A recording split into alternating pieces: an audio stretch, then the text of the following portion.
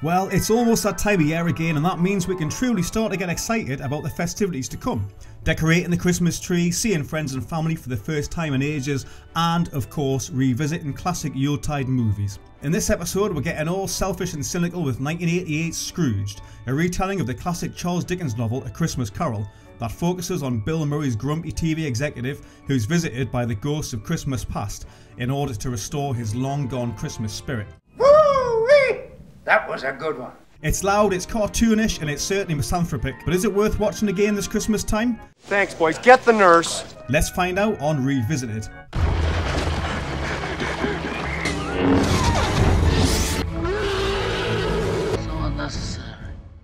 Although Scrooge has now become a holiday staple and a classic in its own right over the festive season, the production was not without its controversies, and of course those dreaded creative differences. Released in 1988 and filmed on a budget of $32 million, the movie had excellent directing pedigree and new Hollywood legend Richard Donner, who had just unleashed the awesome Lethal Weapon the year before. That movie redefined the buddy cop genre, and Paramount were hoping to recapture some of the magic left over from that production. You really are crazy.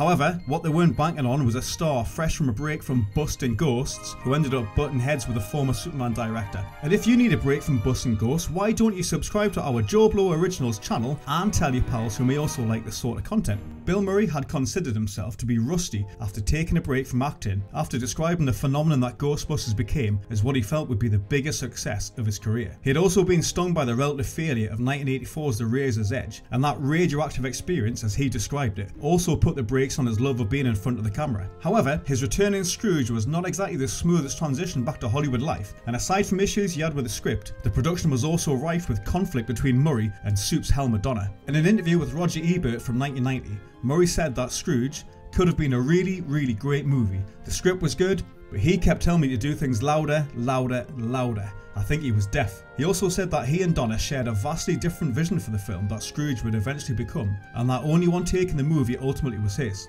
He also found the filming conditions difficult and the fake snow used on the set had allegedly made him cough up blood, leading him to subsequently describe his experience in retrospect. He said, That's a tough one, I still have trouble talking about Scrooge, and describes working on a dusty, smelly, and smoky set. Murray sure comes across as being massively disappointed in the movie, and also felt enormous pressure being the lead actor and the only real name attached to the project, with his previous mammoth success in being slime for a living meant he was part of an acting ensemble. He slimed me.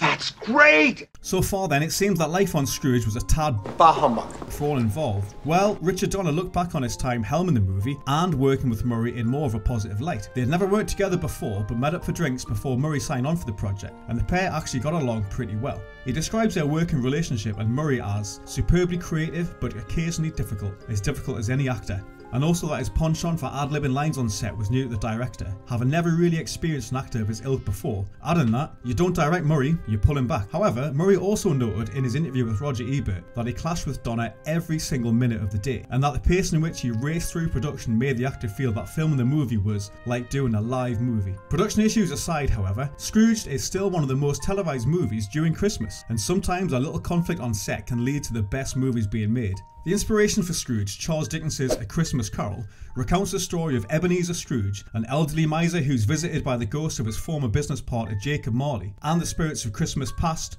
present, and yet to come. After their visit, Scrooge is transformed into a kinder, gentler man. There have since been countless incarnations of Dickens's famous tale, but one element that attracted Bill Murray to Paramount's reimagining was the opportunity to bring some humour to the story. And I mean, after all, this was coming from the guy who had us all in stitches in Ghostbusters by simply flirting with an attractive lady while electrocuting some poor sod at the same time. Comedy is Murray's thing, but could he bring that talent to Scrooge while also being a believable asshole at the same time? Murray plays grumpy television executive Frank Cross, whose selfish persona and cynical outlook on life matches that of Ebenezer Scrooge well. Oh my gosh. Does that suck? And like the original character, he was also visited by a succession of ghosts on Christmas Eve, with the not so easy task of helping him snap out of his mean spirited ways to regain his non existent Christmas spirit. The movie also stars Karen Allen, whose feisty and formidable turn in 1981's Raiders of the Lost Ark lit that movie up like a New Year's Eve firework, and she brings some much needed warmth, life, and more dimension to the role of Claire Phillips, a hero of the story that ultimately helps to save the soul of Murray's Frank Cross. Joining her on the acting roster was also John Forsythe as Lew Hayward, Police Academy's scatshot oddball, Wait a minute! I am the police! Bobcat Goldthwait as Elliot Loudermilk, Carol Kane as a ghost of Christmas present, Robert Mitchum as Preston Rhinelander, Michael J. Pollard as Herman, and Alfre Woodard as Grace Cooley. It's an excellent ensemble and helps to bring this alternative take on Charles Dickens's tale to life, even if Murray did feel like he carried the acting burden of the movie on his own broad shoulders. The movie starts with Frank Cross, a television executive for IBC, pushing for the network to produce a lavish live take on A Christmas Carol to be shown on Christmas Eve, which would make the staff involved work over the holiday season. In a power hungry, egotistical move, he fires those who disagree with him, sends cheap Christmas gifts to people on his list, while sucking up to the most influential people he knows by splashing out on expensive gifts for them. So far, pretty bah humbug, right? Despite his unkindness and apparent lack of empathy for those around him, Frank's boss, Preston Rhinelander, notices how much stress the production is placing on him and brings in Bryce Cummins, who is secretly after Frank's job to help out. In the midst of Frank's turmoil, he's visited by the ghost of his former mentor, Lew Hayward, who was also a complete misery and who had died of a heart attack seven years ago. In order to help Frank avoid the same untimely fate as him, he informs Frank that he'll be visited by three more ghosts over the next day and even calls up Karen Allen's Claire Phillips, Frank's former love, to come to his aid. However, he probably lost one too many drinking contests with her, and Frank Rudy has no time for her and she returns to the homeless shelter where she works. As promised, Frank is subsequently visited by the three ghosts. In the first one, the ghost of Christmas Past, played by David Johansen, appears as rehearsal star as a manic taxi driver.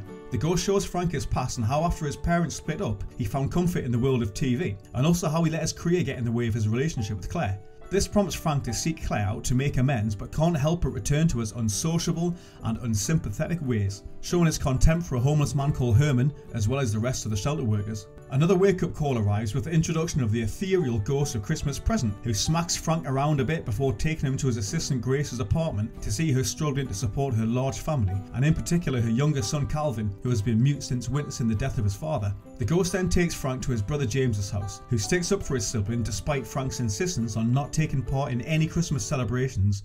A toast. To my brother Frank. I wish he was here. Were, Goofy. And giving them cheap and thoughtful gifts. Eventually, the ghost of Christmas present leaves Frank under a sidewalk where he finds the dead body of Herman, who he insulted at the homeless shelter where Frank's former girlfriend Claire works. This sends Frank into a downward spiral, and after crashing onto the set of the production, he eventually returns to his office where he's faced with a vengeful Elliot Honey, and also the final apparition, the Grim Reaper like ghost of Christmas future, who appears and proceeds to show him just how grim his future will be if he doesn't change his miser like ways. First by showing him Grace's now institutionalized son Calvin, then by showing Frank his own cremation ceremony where only his brother James and his wife Wendy have turned up to bid him farewell. Just as Frank is about to be incinerated, he breaks out a changed man and bumps into Elliot again and offers the bemused man a high level executive position at the TV network. And, as anybody who knows the original story, the movie also ends on a feel good redemptive note with Frank breaking into the live show's broadcast to apologise to Grace, James, and also the rest of the cast and crew before making a passionate plea for Claire to come back to him. And as we mentioned earlier in this video, Scrooge has now become a festive go-to movie for families the world over, and revisiting the film itself, its production, and also its casting, you can see why.